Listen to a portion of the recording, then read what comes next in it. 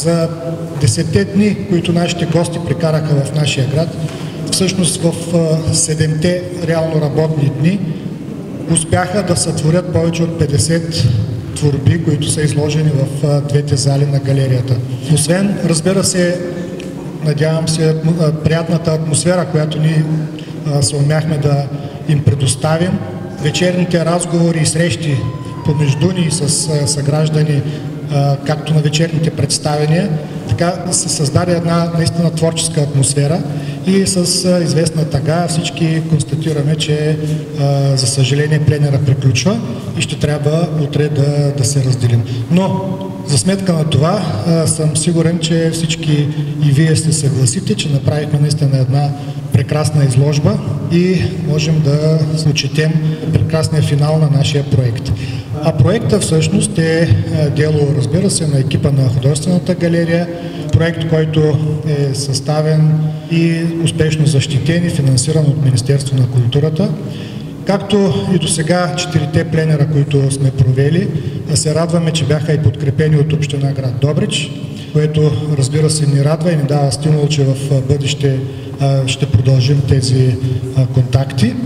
И проекта е осъществен в партньорство с, нашите, с нашия приятел Богдан Богдев от Вила Диполета, който за четвърта поредна година ни подава ръка и е част от организацията на този проект.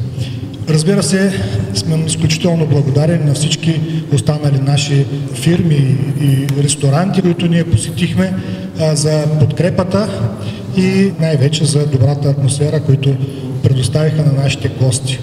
Отново сме спазили и а, нашия принцип да има а, творци от град Добрич, млади творци, както казах, и разбира се, а, изявени български художници. Новото в нашия проект тази година е, че сме поканили и изкуствовед Румена Калчева. Стоим пред прага на изложбата, която е резултат от 10-дневния труд на художниците, участници в традиционния за художествена галерия в Добрич Пленер хартията. Инициативата има дългогодишна история и въпреки известно прекъсване, през годините успява да се утвърди като типичен за художествения живот в града. До година пленера ще празнува своята 30 годишнина, през които художествената галерия в Добрич е събрала впечатляваща колекция от произведения от хартия, обекти, колажи, инсталации и други. А през залите са минали редица утвърдени художници и млади автори, които те първо се запознават със свойствата на този материал. А хартията е изискваща. Изисква време, изисква отдаденост, изисква знания, предварителна подготовка и известно време на опити и комуникация на автора с нея, за да може той да успее да я подчини и тя да започне да му служи. Защото творческата мисъл и идея е едно и тя осъществима само когато познаваме добре материала, с който работим.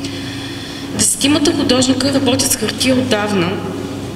Всеки има своя собствена дългогодишна история с този материал. Всеки от авторите използва, като е пречува през собствения си творчески мироглед, работейки в рамките на своята комфортна зона.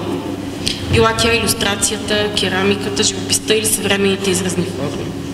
Ето защо резултатът събран в тази изложба, който виждате тук, е изключително любопитен, защото той показва един процес, на взаимно общуване и колаборация между автор и материал, в който нито хартията наделява със своите особености над авторовия почерк, нито самия художник си позволява да пречупи нейния характер по някакъв начин.